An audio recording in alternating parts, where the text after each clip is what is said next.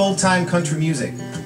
Good. And uh, always loved it. It's the only kind of music I grew up with. My dad had it. I think he had about 3,000 records in his basement. And there are a few younger people here. I should explain records. Those big black CDs. but it's amazing how, how you know, the, the cross between, uh, actually somehow, somehow old time country music gets left out of the roots music conversation a lot. Not around Craig and, and his people, but, but a lot of people don't lump that old music in, and I think you should. It's critical, especially because it crossed so many racial barriers. You know, everybody listened on Saturday night to the Grand Ole Opry, didn't matter where you were from. And so a lot of people got exposed to that old time music. And uh, I just love it. But, you know, growing up, as a kid in the 70s, as I did, and going to a you know big suburban Detroit high school, and people are like, "What are you into? You like Kiss? Did you get the new Kiss album?" It's like I, I like Conway, uh, Conway Twitty. you can get beat up.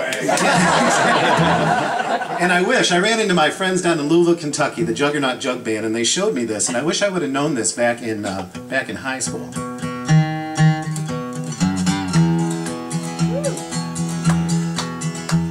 Ever since I was a young boy, I played the silver ball. From Soho down to Brighton, I must have played them all. But I ain't seen nothing like him in any amusement hall. It works. That deaf, dumb, and blind kid sure plays a mean pinball. I could go on, but I. It's terrible, start. No, don't get me started because this is a freaky thing, but did you know that you can literally sing every single Emily Dickinson poem to the tune of the Yellow Rose of Texas? you don't have to believe me, but you're going to be at Borders or Barnes & Noble tomorrow going, because I could not stop for death, he kindly stopped for me But I digress. This is country music were talking about. I was never a songwriter till about uh, six years ago.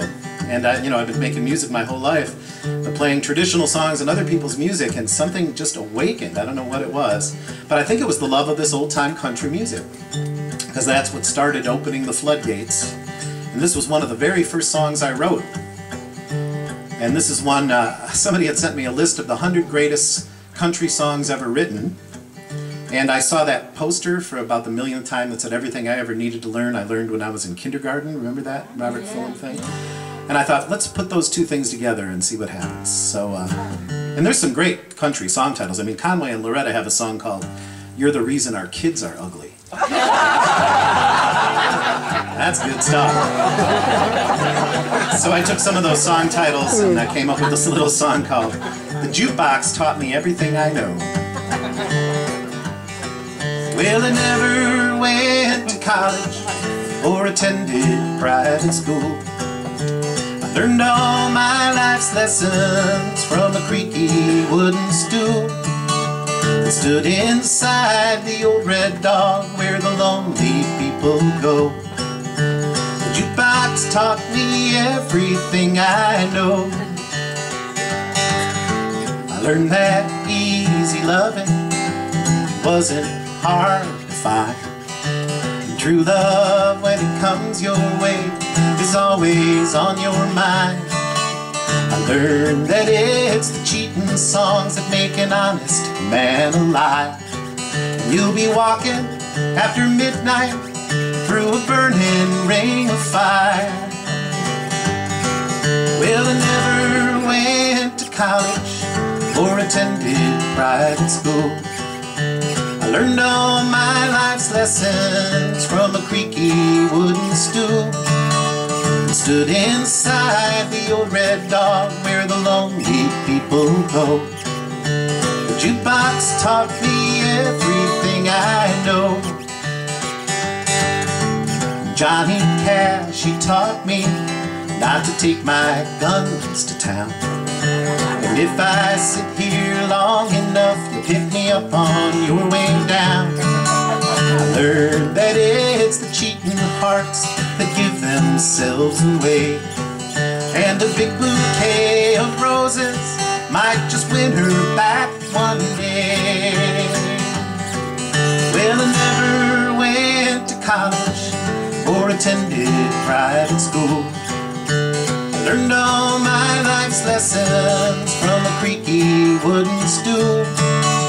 I stood inside the old red dog where the lonely people go. The taught me everything I know. Well, I never went to college or attended private school. I learned all my life's lessons from a creaky wooden stool. The teachers were the masters of rhythm and of rhyme. And I paid my tuition one quarter at a time.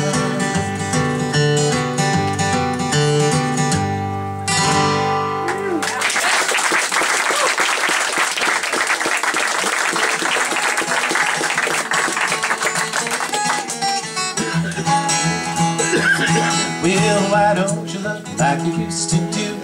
How come I do women do? My hair's still curly and my eyes are still blue. Why don't you love me like you used to do? I ain't had no loving like a hugging, kissing in a long, long while.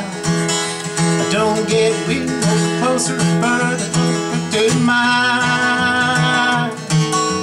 Why don't you spark me like you used to do? Say sweet nothings like you used to coo. I'm the same old trouble that you've always been through. Why don't you love me like you used to do? What I love about these old country songs is they're about a minute and a half long. Like they get in, they say what they have to say, and they get the hell out. Some uh, maybe a little lesson in there for us.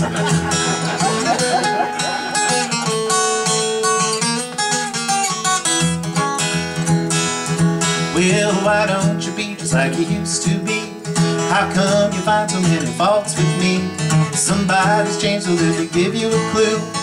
Why don't you love me like you used to do? I ain't had no loving, hugging, kissing in a long, long while. I don't get near or further closer than a country mile.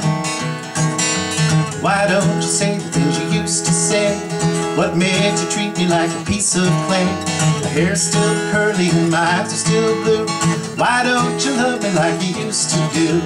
Why don't you love me like you used to do?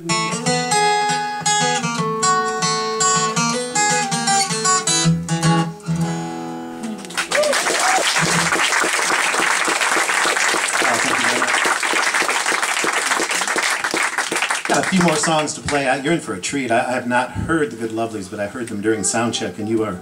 Oh, it's going to be nice.